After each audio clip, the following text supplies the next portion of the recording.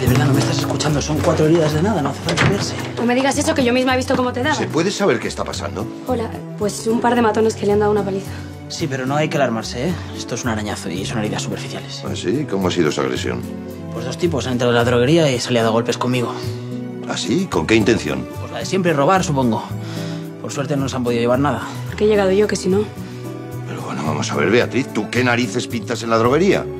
Pues porque desde mi ventana he visto que entraban dos sospechosos y, y he ido. Pero tu hija eres una irresponsable. ¿Por qué? ¿Qué, qué, qué haces enfrentándote a dos atracadores? ¿Se puede saber qué mal te ha hecho Dante? Ninguno. De momento. Solo que no me fío de él. Todo lo que le rodea me parece un poco raro. ¿Qué es lo que te parece tan extraño? Por ejemplo, que se haya venido a vivir a Madrid y haya dejado su trabajo en Mallorca. Bueno, puede hacerlo. Tiene empleados y además allí ahora es temporada baja. Cierto. Ese negocio vive del turismo, pero ¿da tanto dinero para vivir el resto del año? Por lo que tengo entendido, sí. Mira, pero no puedo evitar pensar que si me tratas así es porque me quieres llevar al huerto. No me puedo creer que pienses eso de mí. Ha sido un beso. ¡Un beso! Es que no volverá a pasar, te lo juro. Por supuesto que no. Y no piensas que soy una mojigata, pero me gusta besar a quien yo quiera. Sin presiones. Tampoco te ha presionado nadie. Miguel, hay muchas maneras de presionar. Y si hubiera sabido esto desde el principio, no me hubiera planteado trabajar contigo.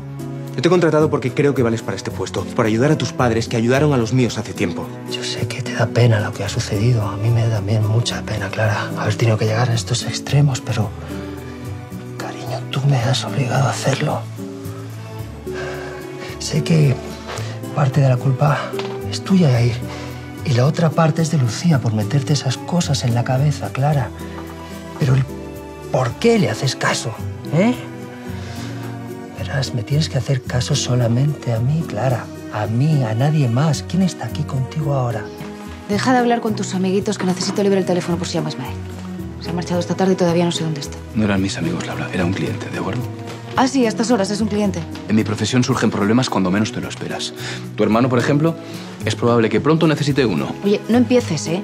Que no tienes derecho a opinar sobre mi hermano, ya lo sabes. Claro que tengo derecho, porque su actitud nos compromete a todos. Necesita un correctivo. Alguien debería ponerse serio con él. Ah, ¿y quién lo va a hacer? ¿Lo vas a hacer tú? ¿El hombre de la casa? Oye. ¿Eh? No te las des de machito conmigo y menos a estas horas que te vas con tus fulanos. ¿Qué haces, Paco? Eso digo yo, ¿qué hago? Es que no es el momento. ¿No? No. ¿Cuándo es el momento? Voy a perder el punto, Paco. Pues ya lo recuperarás.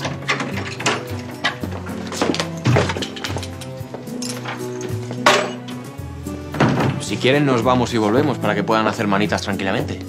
No, no, no estábamos haciendo nada. ¿Cómo que no? Ya me gustaría hacerlo a mí con la misma libertad. Bueno, mira, ya está bien. Estas son las circunstancias y tenemos que aceptarlas todos y dejarnos de hipocresías. Muy bien, pero eso no quiere decir que tenga que aceptar la situación. Necesito una chica para desahogarme un poco. No, las cosas no se hacen así. Aquí se viene con el negocio cerrado de antemano. Las chicas que usted busca están en la calle Ballestas. Esas no me gustan. Yo quiero las que hay aquí en el hostal y no se hable más. Aquí no se atiende a nadie borracho y usted viene con una copa de más. ¿Vas a venirme ahora con el cuento de que esto es una casa decente? No, pero guardamos las formas y la educación. Y usted la está perdiendo. Váyase a dormir la mona a otra parte. Parecía usted una buena persona. ¿Qué te trae por Madrid? Ya te dije por teléfono que nos veríamos pronto. Sí, pero la verdad es que no esperaba que fuera tan tan pronto. No te alegras de verme. Ya sabes que aquí siempre eres bienvenida. Eres mi cantante favorita. Mm. ¿Quién actúa aquí ahora? Lucía Barbate, una chica nueva. Pues creo que nunca he oído su nombre.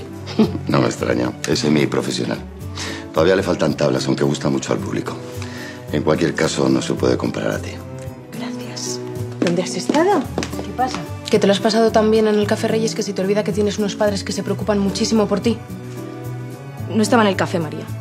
Hace rato que la actuación ha terminado. ¿Y entonces dónde estabas? Dando un paseo. ¿Con Miguel? No. Sola. Pues no me gusta que andes sola a estas horas de la noche. No te preocupes, mamá. La noche está muy tranquila. Necesitaba pensar. ¿Y qué te pasa? ¿Que tienes que pensar tanto? ¿A ti qué te importa? Además, hoy me han ofrecido una oferta de trabajo. Oh, sí. La gran oferta de trabajo, sí, señor. Américo, para mí es muy importante trabajar como modelo para la revista. Sí, sí, sí, se convertirá en una gran artista y la reconocerá todo el mundo. Menuda bicoca. Pero vamos a ver, ¿se puede saber contigo de qué se puede hablar que no, que, que no sea motivo de polémica? Vamos a ver. Pero bueno, ¿pero qué pasa? ¿Es que no duerme nadie en esta casa hoy? Pues mira, ya ves, el mar de fondo, que mi- mientras haya temporal no hay manera de dormir. Pues no son horas de ponerse a discutir. ¿Qué hace usted ahí? ¿No ha visto que está cerrado? La puerta no estaba cerrada con llave. No importa, hoy no se sirve. Márchese, por favor. Guillermo, ¿dónde está Guillermo? Este camarero ya no trabaja aquí. ¿Y tú? ¿Qui- qui- ¿Quién eres? ¿Una nueva puta para entretener a...? Ismael está borracho. Será mejor que te vuelvas a casa. No, no, necesito hablar con Guillermo. Pues tendrás que buscarle la cárcel de Carabanchel. Está encerrado por tráfico de estupefacientes. Yo sé perfectamente cómo voy a ser feliz. Perdóname, pero por propia experiencia te diré que te quedan unos cuantos años por saberlo. Es ley de vida. Pues mira, Sor Teresa ingresó con 15 años al convento y es la mujer más feliz del mundo. Ya. Pero tú no eras muy religiosa, que digamos. ¿O no te acuerdas de las broncas que le montabas a mamá porque no querías ir a misa los domingos? ¿Te acuerdas? O lo difícil que era para ti comulgar porque no podías renunciar a los churros en el desayuno. Bueno, pero en ese momento era una cría. Y ahora no. Mira, María, no quiero que discutamos por estos temas. ¿No sabes lo que fue para mí tener que educarte, alimentarte y conseguir que tuvieras una cama caliente todas las Bueno, bien, bien. Pero todo eso ya pasó. Sí, pasó. Y precisamente porque pasó, hija, porque pudimos superarlo, porque hemos podido borrar todo ese pasado, no quiero volver a revivirlo, ¿entiendes? No quiero. Renuncié a todo por ti, Lucía. ¿A qué has renunciado tú por mí? ¿Eh? Soy yo, Jorge. ¿Qué coño haces llamándome a estas horas? ¿Estás loco? No esperabas mi llamada, ¿verdad?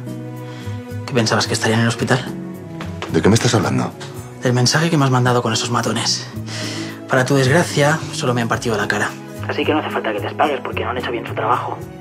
Y yo te repito que no sé de qué me estás hablando. Montes, no hace falta que disimules, nunca lo has hecho. Y nunca lo haré. Ya sabes que yo siempre voy de frente. ¿Qué es eso de los matones? ¿No los has enviado tú? Claro que no.